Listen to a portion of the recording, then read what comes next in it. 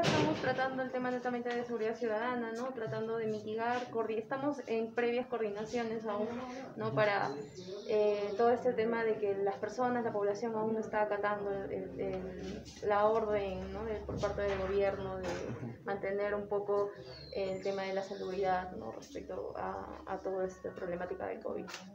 Por ahora estamos todavía, como le vuelvo a repetir, ¿no? coordinando ¿no? para poder trabajar de manera articulada con diferentes entes de, del Distrito de Independencia. O sea, estamos todavía tomando puntos ¿no? bajo lluvias de ideas para poder coordinar.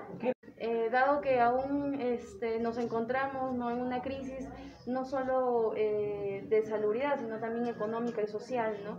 esa es una de las principales preocupaciones, puesto que la gente también necesita eh, trabajar, necesita realizar el comercio día a día ¿no? para poder solventarse. Entonces esa es una de las preocupaciones y vamos a tratar de encaminar soluciones, quizás no inmediatas, pero sí necesarias para, para, la población. Sí, ya se tiene programada, hemos tenido una reunión con la CODISEC, ¿no? Y sí existe ya un plan de trabajo, ¿no? Para hacer este, los operativos pertinentes eh, sobre el tema.